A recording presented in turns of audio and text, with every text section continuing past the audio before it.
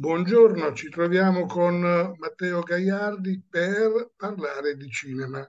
Allora, Matteo Gaiardi, eh, come si chiama? Filmmaker, eh, il tuo Eh lavoro, sì, regista, c'è una, definizione particolare? beh, autore di docufilm, eh, Dopo- eh, filmmaker, eh, regista, anche produttore in questo caso, di Mm, tutto e di più, eh, Iesino, giusto? di origine, di in origine, sì, di origine Jesino ed è alla so- la- per quello che ci riguarda, che conosciamo noi, la sua seconda opera. Dopo Fukushima abbiamo l'inferno dantesco, ma un inferno dantesco eh, molto moderno, in cui una professoressa spiega ai suoi alunni eh, l'inferno moderno. Però sarei più contento che, ci- che ce lo racconti te. Cos'è questo inferno che, che hai voluto rappresentare? È un inferno, eh, com'è questo inferno? È un inferno attuale nel senso in cui lo è l'opera del Sommo, eh, sempre attuale e quindi eterna. Quindi la grande tesi è quella di dire se è attuale oggi lo sarà tra altri 700 anni, visto che lo è stata 700 anni dopo la sua scrittura, cioè oggi. Eh, ecco, la tesi principale di questo film è sicuramente quella dell'attu- dell'attualizzazione, della rilettura attualizzante.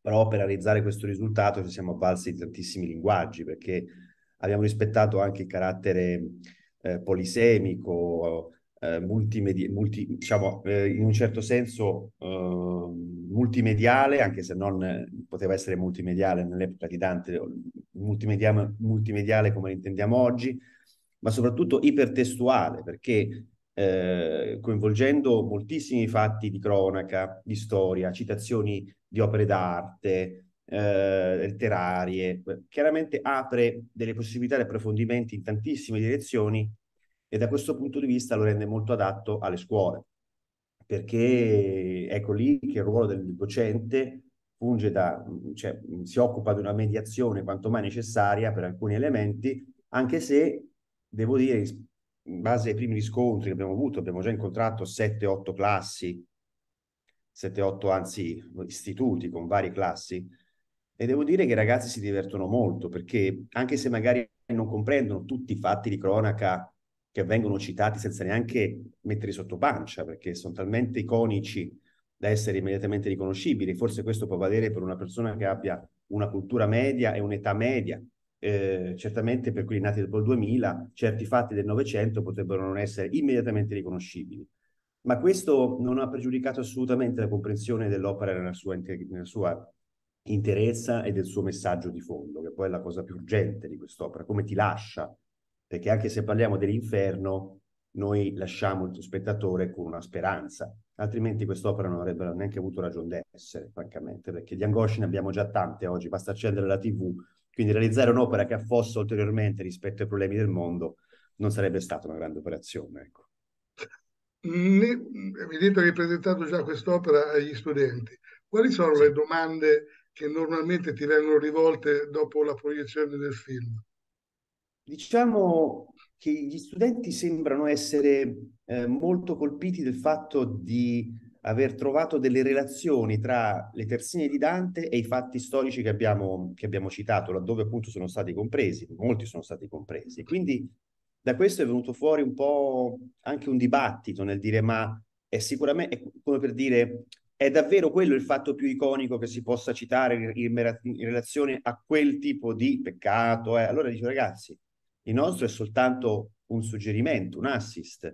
Per me potete anche fare dei, dei laboratori su questo. Il vostro insegnante potrebbe dire, ok, in Mirabile Visione d'Inferno avete visto che i golosi sono associati a questo, questo e questo. Perché non fate una ricerca e non dite voi, secondo voi quale potrebbe essere oggi un simbolo da associare no, a questo? Ecco, questa è la cosa più bella che può avvenire, perché, perché sviluppa un'attenzione verso mh, lo studio del, dell'opera di Dante attiva, deduttiva, non passiva, come quella che abbiamo subito noi, la maggior parte di noi, perché bravi professori ne abbiamo avuti, eh, chi ha avuto la fortuna di averlo, però generalmente, insomma, lo studio della commedia, per chi ha fatto eh, soprattutto il liceo, è associato un po' a dei pomeriggi noiosi, no? Di applicazione un po' così. Eh, forzata su qualcosa che non ci affascinava, forse perché non avevamo il bagaglio esistenziale per comprendere. Oggi, ok, a, a 16 anni, 17, 18 continuano come noi a non avere il bagaglio esistenziale. Noi l'abbiamo sopra i 40, io sto sopra, quindi ho degli elementi in più rispetto a quell'età, ma noi abbiamo compensato questo proprio eh, come? Con eh, le animazioni, che devo dire che sono molto piaciute ai ragazzi, questo anche molti commenti sono arrivati da questo, e l'opera di, di attualizzazione e più in generale un montaggio piuttosto, devo dire, credo di poterlo dire, piuttosto accattivante, accattivante nel senso che cattura, e quindi eh, tiene lo spettatore per una mantina di minuti attaccata allo schermo perché c'è una continua logica di implicazione che fa sì che la, che la narrazione non sia segmentata a scalini, come possiamo immaginare l'inferno, ma continua, perché l'inferno è una spirale, è qualcosa che ha uno, un andamento continuo. Ecco, noi abbiamo realizzato, realizzato questa continuità con il montaggio, con la musica, con il sonoro, con le citazioni, con, con tantissime, con tutti gli strumenti che ha oggi un montatore, un regista, uno sceneggiatore per, per realizzare la continuità, che poi è lo strumento fondamentale di ogni narrazione audiovisiva, cioè quando si realizza un film, e anche qua si sono aperte moltissime domande, sempre per rispondere alla tua, da parte dei ragazzi che erano affascinati anche dalla possibilità di fare queste cose, cioè per dire mi piacerebbe farle anch'io queste cose, come, come è cominciato? Eh, io esposto, ho cominciato facendo un cortometraggio, che è quello che dovreste fare tutti se volete approcciare il mestiere dell'audiovisivo. Vi fate un cortometraggio, perché da quel cortometraggio, anche di 5 minuti, imparerete più cose che studiando tomi di qualsiasi... Lo, lo dico io oggi, l'hanno detto grandi del cinema, ecco, bisogna cimentarsi. E quindi ecco, penso di aver risposto, insomma, a curiosità trasversali, sia sui tematiche, ma anche sulla propria realizzazione stretta del film, e anche su punto qualcuno forse solleticava l'idea di voler imitare questo tipo di, di attività e questo è una cosa bellissima secondo me perché eh, questo, insomma, mi sembra che stiamo seminando bene, stiamo seminando soprattutto nel terreno giusto, dove, dove, i semi, dove cadono i semi e crescono, non, non sul cemento. Eh. Questo è. Eh, un passo indietro, ricordiamo l'altra opera che già hai fatto. Sì, Fukushima, sì. l'inferno precedente, dall'inferno all'altro, sì. Beh, Fukushima eh, da qualche giorno è diventata anche una pagina un po' dolorosa perché è venuta a mancare Pio d'Emilia qualche giorno fa. E questo ha lasciato un vuoto, devo dire, enorme perché ho condiviso con lui anni della mia vita nel realizzare quel film. Film che ha avuto un successo enorme, eh, tanto che questo lavoro su Dante possiamo solo sperare che possa bissare quel successo. Però mm, sembra, per adesso sta andando bene, ma vedremo, fra, tireremo le somme fra sei mesi e un anno. Fukushima, oltre, ripeto, ad aver avuto una grandissima distribuzione internazionale, addirittura che è stata curata la, la, voce narrante che nella versione italiana era di Massimo D'Apporto, l'ha fatta Willem Defoe, che è un attore, diciamo, mitologico. E quindi questo ci ha permesso di entrare in moltissimi paesi. Quindi Fukushima è un racconto, anche questo ha in comune con l'inferno il fatto di essere mediato da un reporter. Nel nostro inferno giapponese il reporter era Pio d'Emilia, nell'inferno dantesco evidentemente Dante coadiuvato dal suo maestro. Eh, come dire, forse la differenza è che Pio d'Emilia, avendo siamo attorno ai 60 anni, era già magister dal punto di vista giornalistico, quindi non aveva bisogno di una figura di quel tipo a fianco. Eh, l'opera di più di mille è considerata dal punto di vista giornalistico una vera perla, quindi chiunque non avesse visto può ancora farlo perché è stato trasmesso, sta chi ha Sky ce l'ha sempre lì on demand, chi non ce l'ha anche la 7 l'ha trasmesso un paio d'anni fa in prima serata con Andrea Purgatori che ci ha dedicato una serata, è stato un po' come un rilancio perché quando vai sulla TV generalista rispetto alla TV a pagamento, la pay TV è un po' come uscire una seconda, nascere uscire una seconda volta. Quindi il percorso di Fukushima ah, è, è, incredibile perché non sembra esaurirsi mai. Quando, tra l'altro, quando, quando è morto Pio, purtroppo, di nuovo SkyTG24 l'ha mandato con una bellissima didascalia in alto, ciao Pio, in prima serata, con tutto il documentario mandato in chiaro è per la terza o quarta volta, credo. Quindi è, mm, non, non, è semplice ripetere una cosa del genere.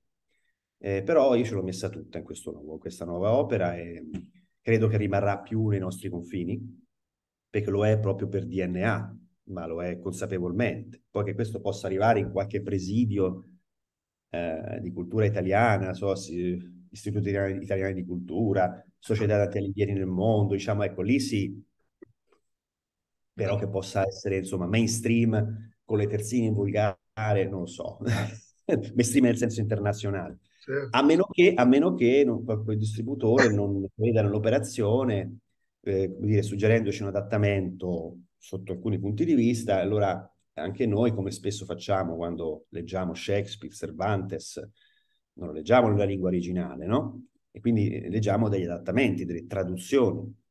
Ecco allora che magari, eh, anziché le terzine originali, ci mettiamo gli adattamenti in inglese e anche le voci, insomma, le doppiamo tutte in inglese si può fare una versione internazionale. Dopodiché, qual è il problema? Non è anche tanto rilevante, diciamo una porzione del problema è che nell'attualizzare Dante abbiamo scelto delle clip che sono iconiche per un pubblico mh, mm, universale, ma con molti abboccamenti o ammiccamenti di cronaca italiana, di storia italiana. Quindi quella parte lì sarebbe almeno diciamo di personaggi iconici che si sono tristemente fatti eh, resi noti nel mondo, ad esempio Schettino, ok, lì non c'è bisogno di, di cambiarlo, ok? Però ecco, ci sono alcuni fatti che sono più nostri e quindi lì forse si dovrebbe intervenire. Paradossalmente ogni nazione potrebbe avere un suo, una sua mirabile visione con la sostituzione, diciamo, di un 20% più o meno di clip che,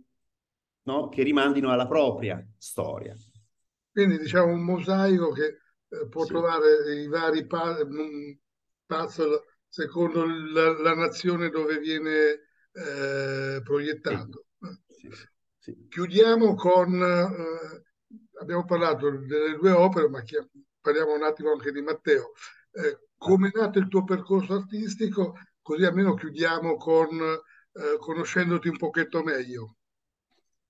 Come è nato? Bah, io ho le foto da piccolo che avevo la telecamerina 8 mm in mano mentre mamma mi teneva in braccio, quindi diciamo che mi sento abbastanza tranquillo da questo punto di vista. Poi mi sono un po' perso le superiori e i primi anni dell'università un po' così, mi sono divertito, perso un po' di tempo. Diciamo che mi sono dedicato in modo molto molto importante da partire dal 2004, tipo, quindi una ventina d'anni fa, però in modo professionale da una 12 anni. Cioè, dal 2010, quando ho pubblicato la mia prima opera, che non è mainstream nel senso, nel senso broadcast, però ancora vende paradossalmente dopo 12 anni, che è uno spettacolo per planetari digitali che, che replica l'interno di un'astronave aliena con una visuale a 360 gradi, si, si intitola Space Opera lo dico e lo racconto sempre più, con sempre più entusiasmo, quindi non lo nascondo come quelle opere d'esordio, quelle opere un po' di formazione. Quella è un'opera, devo dire, un prodotto vero e proprio che è uscito fuori magicamente, non lo so come, e, e ha creato uno scrimine tra il mio periodo di formazione e il mio periodo di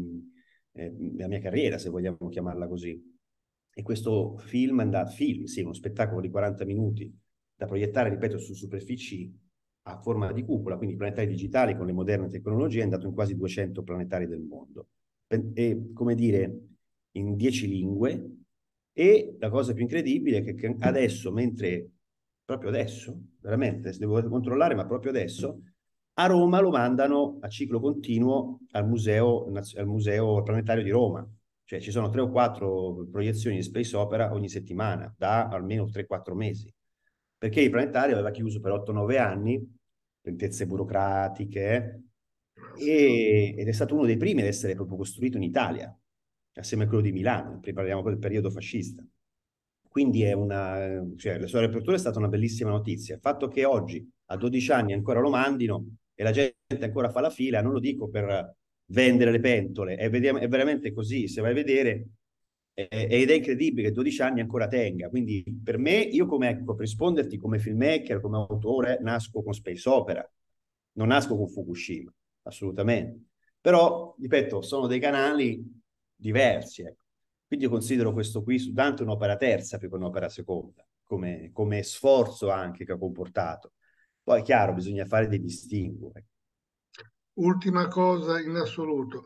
Eh, ti, sei, ti stai dedicando alla, alla, filmografia, quindi al cinema. un sì. pensiero per eh, non so, il teatro, insomma, altre, altre sezioni? Eh, c'è, non dico c'è, no. Quindi Credo di no. Non, non, mi, proprio, non mi abita proprio, non è proprio il mio ambito. Eh. Teatro, tutto quello che è live non mi permette quella rielaborazione un po' romantica nella tranquillità, diciamo, autoriale del proprio salotto che, che è fondamentale nella mia, nella, mia, nella mia, chiamiamola, attività o so, produzione artistica. Non, eh, troppo, sarebbe troppo stressante.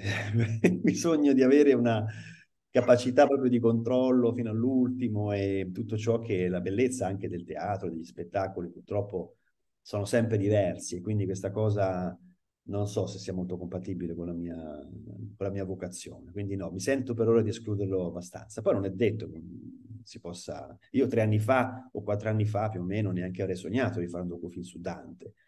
Il tema, il tema, ok, è nato facendo un, un, un video, di, il video della candidatura, diciamo, tra questi tre opere principali che ho citato, ce ne sono alcune intermedie, su formati, formati, anche diversi, uno dei quali è un video per la candidatura UNESCO del, dei, dei fres- degli affreschi di Giotto a Padova, che ha avuto poi il riconoscimento UNESCO. Però ecco, stando dentro la cappella degli Scrovegni intere notti a fare il time lapse, forse per osmosi ho, ho come dire, assorbito eh, una, una, una, fascinazione del Trecento, che poi no, è lo stesso secolo, che sono Coevi, Giotto e Dante. Quindi dallo studio di, di Giotto anche in quell'iperbola finale che già c'era in quel video, che appunto riportava gli ultimi terzini dell'inferno, forse c'è già l'assist alla mia opera successiva, che è quella per cui stiamo qua. Quindi oggi. Quindi da cosa nasce cosa? Ecco, non è che un giorno mi sveglio e mi viene una pazza idea. Credo che tutto sia, come il mio, come il mio racconto è continuamente implicato, anche le idee siano implicate le une alle altre, quindi è un processo. Assolutamente sì. Se uno vuole vedere eh, il tuo Dante e il tuo inferno... Allora, trattandosi delle marche inf- che infinite, diciamo, non sono in termini di cinema, quindi ci sono delle sale molto finite, però abbastanza da poterlo vedere senza fare troppi chilometri. Allora, le prime tappe, eh, la prima tappa assoluta marchigiana è eh, il 26, 27 e 28 pardon, scusate, è il 21 febbraio, quindi tra qualche giorno, a Macerata, Cinema Italia, alle 9 e un quarto. E, ehm, poi il secondo appuntamento marchigiano sarà a Tolentino, il 23 febbraio, nel multiplex Giometti, nell'ambito di una rassegna che si chiama La Decima Musa. Poi ci sarà il 26, 27 e 28 di febbraio a Ancona, quindi la mia città di residenza, eh, al Cinema Italia e Azzurro a seconda delle giornate, insomma sono gli stessi che gestiscono quei due cinema. E la cosa bella di questi tre giorni è che saranno gratuiti al pubblico, perché il comune di Ancona, lo posso dire, ho avuto l'ok oggi, eh, ha, è intervenuta per fare questo regalo alla comunità, alle scuole e alle, ai cittadini in un numero limitato di spettacoli che poi verrà, insomma, verranno comunicati. E quindi questo per me è un grandissimo eh, segnale di attenzione anche da parte dell'amministrazione verso un lavoro mio e un lavoro di un concittadino. E questo è bello che accada, molto bello. Quindi ringrazio Maraschi, l'assessore Marasca, ringrazio tutta l'amministrazione che ha, mi ha dato questa insperata possibilità perché è un format veramente inedito. E poi il 20, continuo perché ci sono altre date, poi dopo concludo. C'è il, non lo posso ancora dire, il 2 marzo, probabilmente a Iesi, vabbè lo diciamo, però avrò la conferma lunedì, quindi non prendetela per, per certa. E abbiamo il affermo il primo marzo, a, ad Ascoli Piceno il 10 marzo, non, dico, non vi dico i cinema perché sennò vi vedo fare l'elenco, non mi sembra questo il caso, tanto usciranno via via i comunicati, quindi avrò modo di informare chi fosse interessato. E poi avremo altre tappe, Fano, Senigallia, Pesaro, le cui date però sono ancora in fase di definizione come si vuol dire, ottimo e abbondante. Speriamo che sia d'accordo il pubblico. Quindi io cercherò di essere eh, in una di queste date per riuscire a vedere il, il tuo lavoro completamente. Ma te sarai in sala sempre oppure in alcune specifiche? In queste che ho citato sempre. Ce ne sono in realtà una 35-40 che faremo da qua a maggio in tutta Italia e in queste anche ho garantito la mia presenza perché a me piace incontrare il pubblico perché è un modo per incentivare la partecipazione, eh, per avvicinare poi i docenti, perché noi queste proiezioni tendenzialmente diamo accesso libero ai docenti. Infatti quasi tutti i comuni che poi lo veicolano a livello di comunicazione, quasi tutti i cinema accettano che ci sia appunto una partecipazione gratuita dei docenti, perché primo riempire le sale è utopico, secondo perché poi i docenti sono poi quelli che eventualmente organizzano le mattinee e quindi c'è anche un'attenzione strategica verso questo. Quindi eh, c'è, insomma, mh, ovviamente però l'invito è rivolto a un pubblico più possibile trasversale, quindi anche i ragazzi, cioè anche eh, non ci aspettiamo che i ragazzi di 18-19 anni corrano al cinema a vedere Mirabile Visione, però la scuola interviene, magari passa parola, insomma, ci sono degli strumenti che poi so, possono incoraggiare una partecipazione anche di un pubblico non tendenzialmente legato a questi contenuti. Insomma. Perfetto Matteo, ti ringraziamo, stato un piacere conoscerti e approfondiremo la, la, tua conoscenza sicuramente andando avanti. Grazie mille. Ciao. Ciao a tutti, ciao ciao ciao.